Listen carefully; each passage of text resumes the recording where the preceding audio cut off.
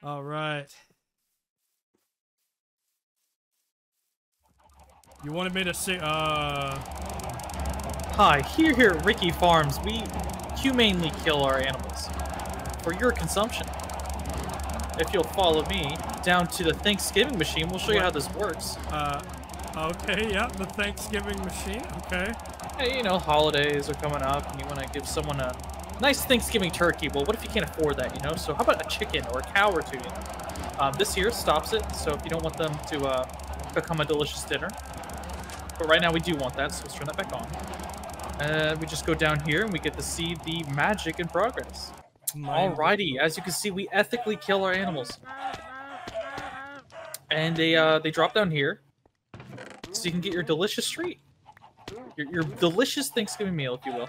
That is a lot of chicken. No less than five OSHA violations Of course. Only, are only five. guaranteed. We'll never go above five. Happy Thanksgiving, everybody. Happy Thanksgiving, yeah! yeah.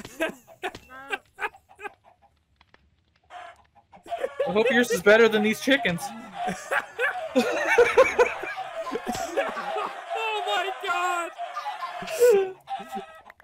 It was though a thousand chickens screamed all at once and then were immediately silenced. There's like some Really? cows thrown in there. Don't worry, we don't discriminate. We don't, we don't. There's like rotten flesh in there. A zombie died in this thing. Uh, it totally wasn't the chicken uh, dying in there, you know, from months of just rotting. Ugh, It's ethical, I swear. it's ethical. It's clean.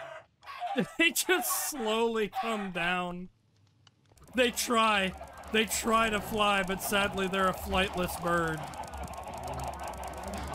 That's what makes the machine work so well. Oh no.